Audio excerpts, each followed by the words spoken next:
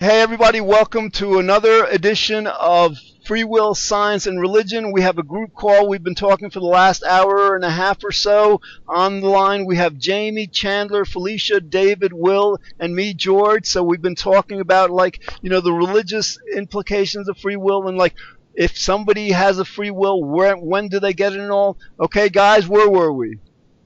Uh, we was talking about the um, age of responsibility in the criminal justice system, and I was agreeing with Felicia uh, Hogan's points about you know 18 or over, you you have more experience, like um, as far as like you know life goes. But the the point remains, um, during your adulthood, you have as much free will as you did when you were a kid, which is zero.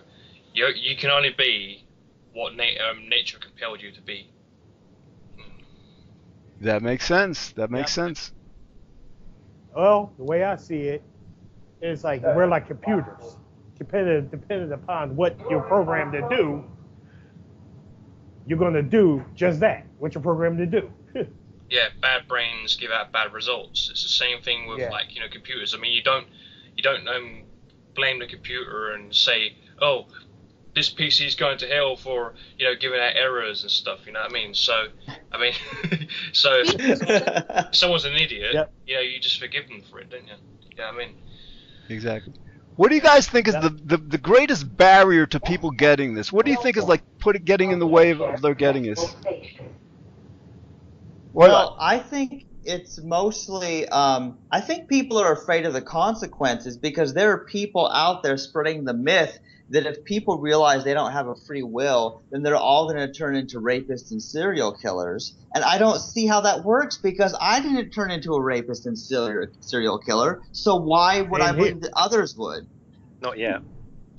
Not only that, but people also fear what that would do to the the justice system. When I first heard this idea that we don't really have a free will, but it's nature and nurture, it was in high school, like eighth or ninth grade, really. And I said, that's absurd. How can you say that? That's humanist. If that were true, then we couldn't have. Uh, how would we keep people accountable in society? It would be chaos.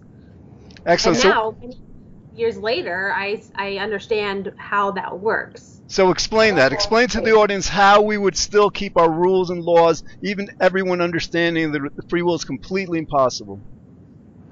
Hmm. It's completely Deep possible. or No, also impossible. Impossible. Okay. It's not Um, impossible. It's just I think that would be kind of hard to get adjusted to. Well, all right. Go ahead, Felicia. Oh, um, I was saying that there's a difference between consequences for your actions and a fundamental responsibility. And what would happen if we were to realize that free will is an illusion, that we don't have free will, and we're the product of our upbringing and our biology, is that our criminal justice system would have to entirely change. It couldn't be about punishment for that which we have no control over. It would have to be about a learning process and rehabilitation. but we still need reward and punishment in the sense that we need to deter bad behaviors. We need to re- we, need to incentivize you know things like work ethic and um, you know steer people away from things like shoplifting, things of that nature. You know what I mean? Because we can't have Yeah. people going around doing these things. It costs I mean, you- money. You, it would essentially, I mean, you'd be sent to a rehabilitation program. You wouldn't have a choice in the matter. Of course. Yeah. Yeah, but what I'm saying is, is that we still need to, you know, keep certain things in place to steer people in the right direction. You know what I mean? So I think Go under, ahead. Everything civil, basically.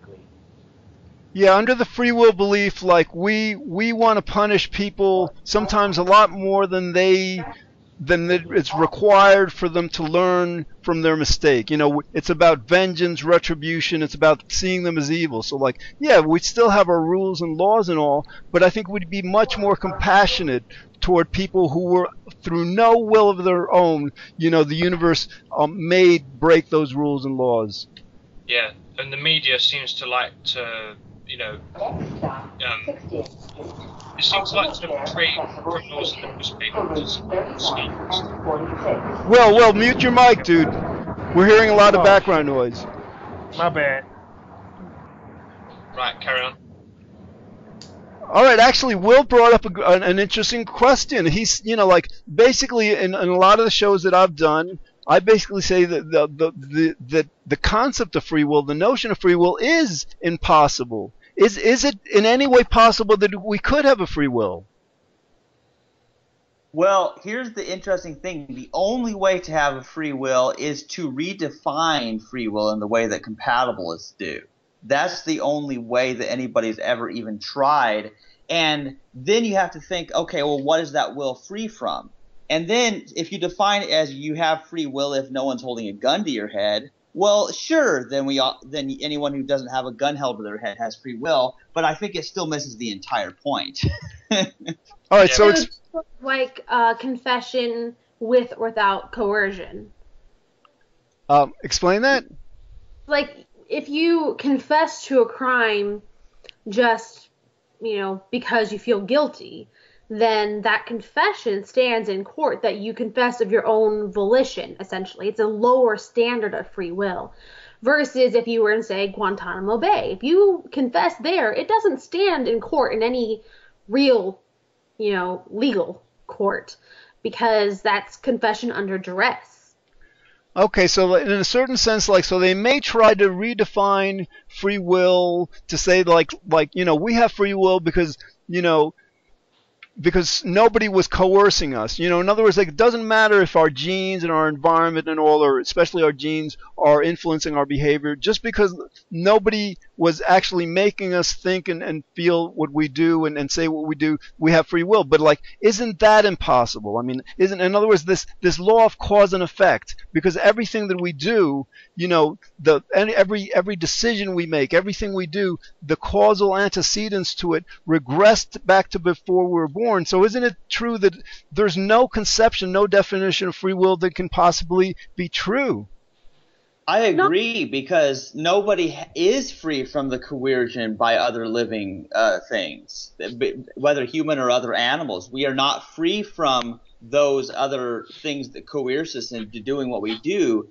And if you are made to feel ashamed and guilty for something, um, because your parents brought you up that way, well, that's still stuck with you even after your parents are dead. So you are still being coerced by your dead parents if they if they forced you to believe a certain way. And that's important to understand is that we're never free from coercion. So even that definition can't work. I don't know if coercion is really the right word to use there. Maybe more like affected by. Yeah. Interesting, because yeah, sure there's a difference. Well, the human brain's still obeying evolution. I mean, evolution still applies to consciousness and stuff like that. I mean, it's, obe- it's obeying um, law of entropy, isn't it? Yeah, sometimes sometimes free will believers will say, well, you know, like our genetics don't don't really compel or coerce our behavior. They simply only influence our behavior. But I mean, like a good analogy to explain how that's not the case. For example, let's say like you're given an assignment in school to do a report, right? And let's say one of your parents does about a quarter of your report, you know, for you, and like you're handing it in, can you truly say that it is your report? You know, so like in that same way that it, you'd be like dishonest, it would be like plagiarism, whatever it is, like to claim that your your work is yours if one quarter of it wasn't it. Isn't it the same that like we can't bl- uh, claim we have a free will if if we have this this unconscious that's constantly, you know, working, we're not even know it's there. No, in other words, uh, like the unconscious or genetics don't have to be completely determining our behavior to negate, you know, our our free will. So what you're saying, um, like someone who sits a, a maths exam, right? Are you saying that their subconscious is doing the, um, you know, calculations for them? Well, yeah. In other words, like our unconscious, think about it. Our unconscious is awake all the time. We go to sleep and our conscious mind, you know, goes to sleep, whatever. But our unconscious is operating 24/7. And and think about it. Our unconscious is where all our memories are stored, where all our thoughts, you know, our words are stored. And it's also like if if we're unconscious of this place where all our memories are, um, whenever we make a decision, then then the processing of that decision has to be made by the unconscious because that's where all the, the principles for deciding are and that's where all the memories by which we decide must be. So so in actuality what, what happens is like we don't actually make any conscious decisions at all. Our unconscious makes these decisions and then we become aware or conscious of what our unconscious has decided. Yeah. I understand that um, thoughts are not to us because um, when we go to sleep, sometimes we dream or have nightmares. I mean, who would choose to have nightmares? I mean, if, if you were like getting chased by someone who um, who was about to stab you um, in a nightmare, right? Obviously, you got to run away. You're not gonna, you know, stand there and let it happen to you. Um, regard, I mean, in your nightmares, Unless you're a right? masochist. Yeah, you know, in your nightmares, you get the impression that it's real, didn't you? Sometimes it's real to you, and that's why it's so scary. You know, Yeah, I think it needs to be pointed So I'll have out to, that I'll have to talk to y'all later because I'm about to head underground. all right good good talking to you will all right, thanks, Will. I will. All right, you stay safe. yep you too You too. Yeah. Yeah. I think it, it needs to be pointed out that aside from the fact that we don't get to choose our our genetics, you know, our DNA and all that, and we don't get to choose all the things that we're taught all the whole time growing up and all the different things we experience every day that whether you say it coerces or influences, even though I don't think there's much of a difference between those two, you know, and aside from the whole unconscious thing, which is true, but there's another thing to point out, you know, like Felicia mentioned, she doesn't change the chemical levels in her brain, the serotonin and dopamine. She doesn't, she can't just do some action to, to, to make that go up or down. And so we still don't have the type of control over our emotions and how we feel about things to be responsible in the way that, that people typically think you are responsible. You know what I'm saying? Exactly. And when we go to sleep at night, um, when our um, when we go to rapid eye movement, that's what it's called, REM sleep, right? That's when we're dreaming. We don't choose um, what our dreams are, which are based on you know what we remember. Now, usually that's what our dreams are based on, aren't George? They're based on what uh, our stored memories. Absolutely. David, David, what do you think is the strongest refutation? There's various ways to refute free will. What do you think is the strongest refutation among them? Um, what about the uh, the experiments done by uh, was it Benjamin Libet? Okay, do you want to describe them? Um, I think it was an experiment done where they could predict what the uh, person in the study was going to choose about six seconds or seven seconds before they Yeah, actually the readiness chose it. potential, Yeah. Yeah, exactly. Yeah. I That's- think that's a good indication. Absolutely. If, if a researcher, if an experimenter can know what you're going to decide before you know it, you know, and I think like most recent replications have it up to almost 10 seconds. I mean, like, how can you possibly, you know, believe that the decision is yours? Exactly. I mean, I think um, Sam Harris makes it quite clear as well when he says you can't think what you think before you think it. You know, it's very difficult to do. That's more or less what Susan Blackmore said as well, wasn't it? Yeah. I believe so. Yeah.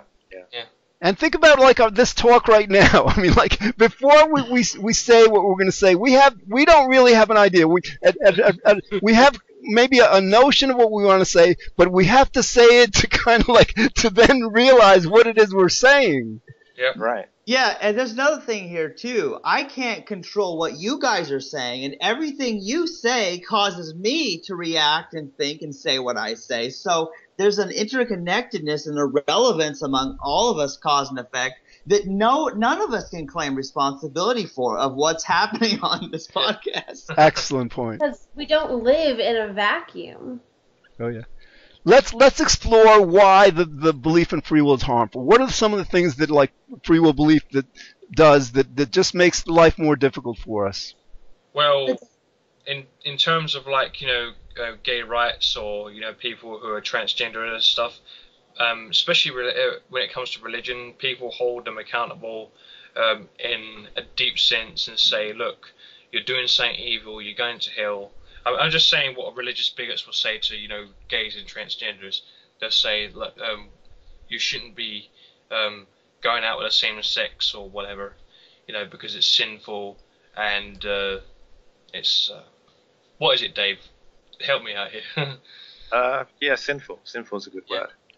Uh, an abomination is the word they use usually.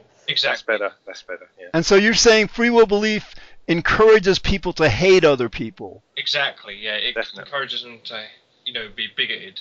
The bigoted is the word. I think it's part of the uh, part of the blame game. I think it's called. hmm Yeah, but that's that's what breeds bigots. The uh, fundamental blame. Absolutely. I think something else, um, for example, we don't just blame other people, we blame ourselves. We do something wrong, and like, you know, I think very early in life, when we're toddlers, maybe before that, we're taught, well, if we do something wrong, then we need to be punished, because if we're not punished, we're not going to learn better. And so, like, we we keep that understanding as adults. So whenever we do something wrong, yeah, I think like reward and punishment helps condition us to do the right thing, but this free will belief makes us go beyond that. It makes us like say, well, it's not just about punishment. It's like that we deserve to be punished because we did this wrong because like you know because it, it's fundamentally up to us so i think basically it it it encourages us, it motivates us to punish ourselves, to feel guilty and the pain of guilt much more than we would if we just realize. In other words, like to the extent we we overcome the belief in free will, we might say to ourselves, well, oh, you know, I did something wrong. I'm acknowledging that it's wrong, and now I'm vowing not to do it again. But we don't have to go through all this self punishment to reach that. It's a much more compassionate, self compassionate attitude. One of the interesting things, or another example of how when we're kids and we're taught about the idea of responsibility and that you did something bad, you know, that's your fault, is uh, just another example where, you know, my family has depression, anxiety that just runs genetically. And when I was a kid, like 10 at the latest, my mom and my sister told me it was my fault that my younger sister went to counseling. And What? yes, and so recently in the past year, I went to counseling myself for some of the problems with my family and leaving my religion and that sort of thing. And I realized that I feel responsible for other people's happiness. And when somebody else isn't happy, I feel bad. I feel like it's my fault. And that's where that stems from. And it, it's affected everything I do in my relationships. Yeah. Exactly. Go ahead, Chandler. Yeah, that's my point exactly.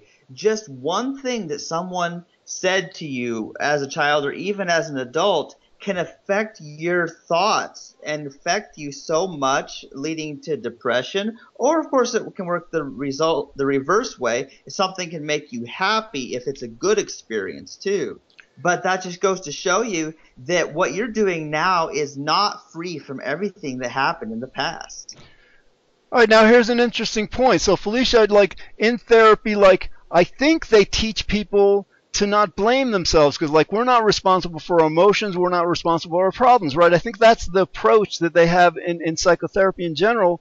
And like in psychology, you know, I think the basic understanding is that human behavior is the result of nature and nurture, you know, a combination, either or whatever. So like according to that understanding, there's no room for free will there. So then you have to ask yourself, why doesn't psychology, why doesn't you know the medical profession establish the and, and, and promote the understanding that we don't have free will? You know, I'm, kind of surprised they haven't yet, considering all the studies they've done on the brain and on the brain of people with mental disorders like anxiety, depression, bipolar, psychopathy. Is that you can actually see differences in the brain development for the people Well, who have think- disorders. Exactly. Yeah, and well, I think part of the reason they haven't uh, admitted this to themselves, what what this means for free will, is because they're part of religions who believe this free will thing, and it's so essential that they don't that they miss the contradictions of the psychology and science that they they know because it contradicts with other beliefs that they have to keep. They think. Do you think it's a it's a question of their not understanding intellectually that free will is impossible because of nature and nurture, or do you think it's a, a lack of moral integrity that they get it but but they refuse to acknowledge it because it doesn't fit in with what they want to believe? I Yeah. think it's both. I think it's neither. All right, Felicia, that's a good. So like, go ahead. That's interesting. Oh well, I'm gonna let Chandler go first with the the both, and then I'll Cool. go with the negative. Sounds good. Okay. Yeah, first of all, I think many people don't intellectually get it because they don't really understand cause and effect and that everything has a cause. Plus, they may not be aware of the unconscious and how that works because they think all thoughts are conscious thoughts or something.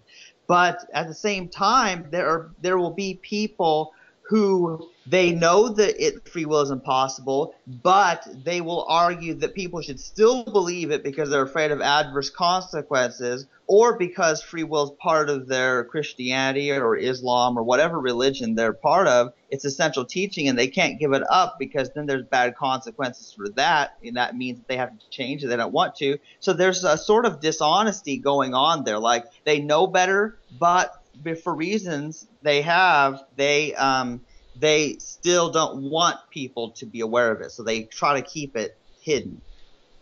Okay, good. So what what are, what might be some of those reasons?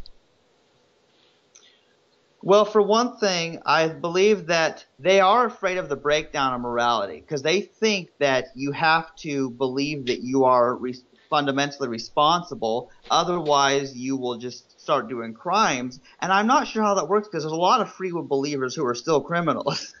um, but there, but there's also it is it seems like it's so tied in with our the psychological need people have to take credit for the good because they take credit for the good things that happen, but then they never take the blame. They're always blaming somebody else, and so they're they are flip flopping, and, and even yeah, it doesn't really make any sense whether you believe in free will or not. That kind of hypocrisy is still stupid, but it's, it's so weird. They are addicted to blaming. They are addicted to crediting themselves. And because of their need to feel morally superior to other people because they made better choices and think they'll be rewarded in an afterlife or uh, or in this life, I think they need that so badly that Right. they they just cannot accept it. Excellent explanation, Chandler. Now, Felicia, you have a different take. Why do you think it's so uh, difficult for people to understand that free will is completely impossible? Well, I think the original question is why the scientific community, the mental health professional community, doesn't accept this or promote the idea that there's no free will, either because they don't understand or out of malicious intent that they're deliberately being dishonest about it. I think that was the original. Yeah, I'm sorry. You're completely right. Yes, thank you. um, and I, I, I would say that I think it's neither. I think it's extremely rare that people do what they what they realize is wrong. That there's a justification for. I think everyone tries to do the best that they can. Even you know, I even go so, so far as say as even Hitler was doing what he thought was right. It's extremely Yes. rare that people do what they know is wrong All right, so, so, I don't think that it's fair to to think that the entire mental health professional community would be deliberately trying to hide this from the public. I think that that's a conspiracy theory that I could not support. all right, so you're right. Let's let's say we, let's say it's not like malicious, but but then how do we explain it? What how do how, you know how do we explain? For us, it's it's relatively clear that that free will, you know, that we don't have free will. How why is it not as clear to them? I don't know that's necessarily not as clear to them, to be perfectly honest, as the the mental health community as a whole. I mean, we see tons of articles and studies on this sort of thing that you know some of us here have have read or at least read about that has led us to make the change in our philosophy. But the thing is, though, that these people are not philosophers. It's not necessarily their job to interpret this information as far as how it, people should be applying it to their everyday philosophy of life. That's you know the job of philosophers. And honestly, how many Americans read scientific studies? How many? I okay. mean, come on. So All right. I don't think that community. It's the rest of us, the rest of the people who aren't reading this stuff. All right, David, we just heard like the USA take on why the medical establishment doesn't get this or like doesn't promote it all. What how, what is the UK? What do you think you know, it is like in the UK with the, with the medical establishment there? David? Um, I I would say this um, quite apathetic towards the idea. Really, they just don't care as far as as far as I can see. And the ones that do care, uh, tend to just play the blame game. Okay. we've got media, media over here. It basically criminalizes being poor. And so at the moment, if you're poor, if you're fat, if you're taking any kind of a, a benefit system from the government, then people have been influenced to blame those people. So they don't consider why those people have been put into that situation. All they do is say, you have free will, you could have done otherwise. And so that's it, you're responsible. All right, so in a certain sense, they're kind of defending the status quo, defending the way we do things. Exactly, yeah, exactly that. Okay, Jamie, what's your take? I, Jamie may not be there. All right, you you raised a, an interesting question, an interesting topic. The idea that that they don't understand, um, they may not understand the relevance of this. It's that they're apathetic because maybe they don't get how much it matters. I just want to. We've got about five minutes left. Um, I want to present this this idea how the medical establishment should really um, take a huge interest in this because of what we're familiar with as climate change denial. We know that like here in the United States about 66% of Americans deny that climate change is happening and deny that human beings are cause, causing it. All right, now denial, as everybody knows, is a psychological defense mechanism that people use when they feel indicted. When people, uh, when scientists are telling people, you know, you're doing something so horrible that, that billions of people could die in the future and civilization could collapse because of what you're doing, you know, people who believe in free will are saying, oh my God, you know, like we, we can't be that horrible. And other people cannot accept that they could be doing something, that their friends could be doing something so horrible, so they're unconscious, can't accept it and goes into denial. So like, to a certain extent, it's this denial that's preventing people from looking at the evidence about climate change objectively and finally, you know, being able to accept that it's happening so we can finally do something about it. What do you guys think? Mm-hmm. So the idea is like if, yeah. if, if if people if scientists would tell people listen yes we are like wreaking havoc on the climate in, in, various ways we need to change we need to change quickly but don't feel guilty about this because like it's not your fault. You don't have a free will. You know, humanity was compelled to do what we did. So, like, in other words, if we could lift the guilt and lift the blame from people, maybe they can would be able to accept what's happening more. I think I, I you're think, right, George. I, I think if the scientists were to say that, you know, it's not your fault, you don't have a free will, that would be dangerous to their health here in the U.S. Um, I would definitely not recommend they try to tell the Christian public that right off the bat. Because Felicia, you're afraid that like people will say, well, if it's not my fault, then I'm not going to do anything about it, or. Some people, especially people who are just being exposed to this idea, especially on the Christian side, when your entire life, your entire worldview is on Christianity alone, without that, everything falls apart. That absolutely there's uh, a misunderstanding, I think, of of what free will is and how that affects our society. They think that the whole place will be in chaos. Okay, all right. And also, isn't it kind of like a fundamentalist Christian belief that climate change is actually God's will? It's part of like the apocalypse, and like they kind of like are welcoming it.